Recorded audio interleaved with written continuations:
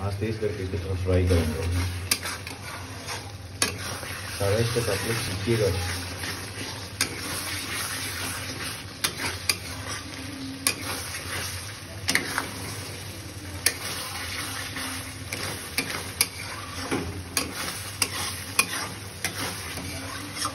Video हमारे channel YouTube और Facebook दोनों जगह अवेलेबल है।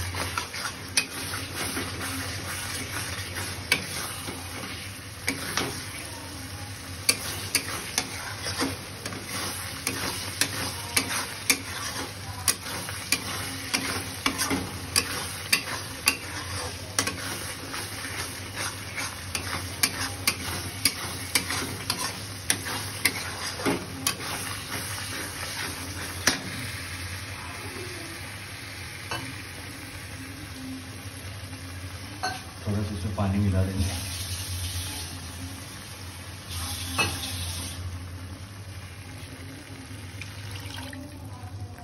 देख रहे हो ये पानी गायब हो जाता है इसमें से।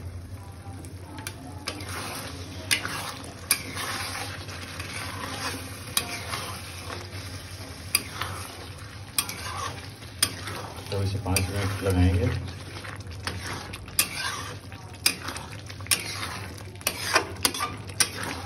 चिकन के कन कन में सारा मसाला चला जाएगा। नमक चला जाएगा, एक एक मसाला का टेस्ट अब हमें पता चलेगा। इसमें स्वाद के लिए हम लोग आज दही भी मिलाएँगे।